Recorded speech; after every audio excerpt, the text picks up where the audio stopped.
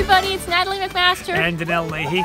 We're at our home here in Ontario, just relaxing before we head out on our U.S. tour, coast to coast. Our tour starts on February 16th in Park City, Utah, and then we end in Florida on March 19th. All details you can find on natalieanddonnell.com. So we hope to see you there. We have to go now because we have a very important game to play and it's tied. See y'all later. All right, give me a ball. All right.